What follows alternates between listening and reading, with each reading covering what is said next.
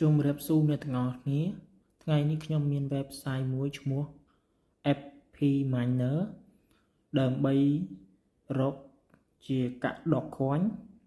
ហើយកម្មវិធីនេះស្រួលចុះឈ្មោះទេយើងគ្រាន់តែយក address ដក coin ពី Faucet Pay ជាការស្រេចហើយដើម្បីចុះឈ្មោះយើងគ្រាន់តែចុច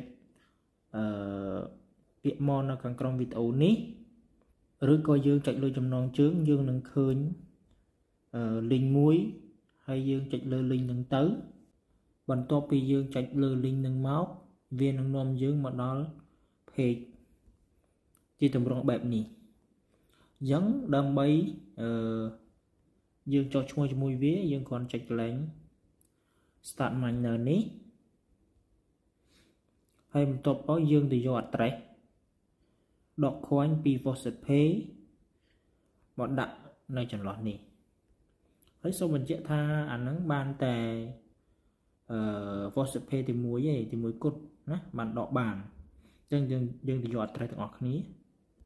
នេះ Faucet Pay របស់ខ្ញុំចុចលើវាទៅចូលមកចំណុចនេះ deposit នេះមករកកន្លែងដក coin នេះ ហើយចុចយើងយកចុចយក address address នេះអូខេយើង copy បានហើយអញ្ចឹងយើងទៅកន្លែងយើងវិញចុចលើវាឲ្យជាប់ហើយយើងផាបន្ទាប់មកចុចលើ mining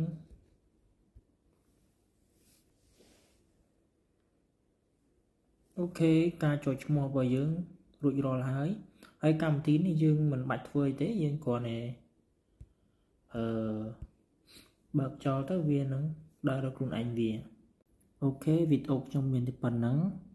ចាំដល់ពេលខ្ញុំបានលុយឡើងច្រើនតិចខ្ញុំនឹងដកកាក់ដកខ្វាញ់នឹងឲ្យមើល